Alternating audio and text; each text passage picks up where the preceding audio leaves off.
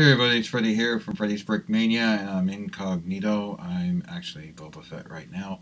And I'm talking about the LEGO Star Wars Boba Fett alarm clock. I think this is quite the awesome clock. And uh, if you press down on his head, it illuminates the time. So it's 4.35 p.m. in the afternoon, because that's when I'm recording this. And no Twi'lek women were injured during the making of this film. Anyway, on the back we have all the buttons. You have your alarm on and off up here.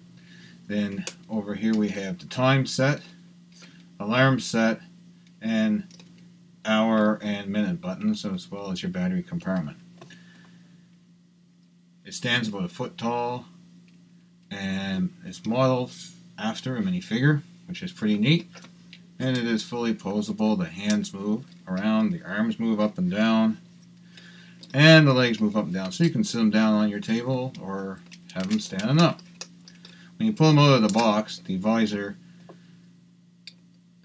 piece here is separate and you can put it on and adjust it whichever way you would like to adjust it. That about, that's just about it for a little quick review on the LEGO Boba Fett alarm clock.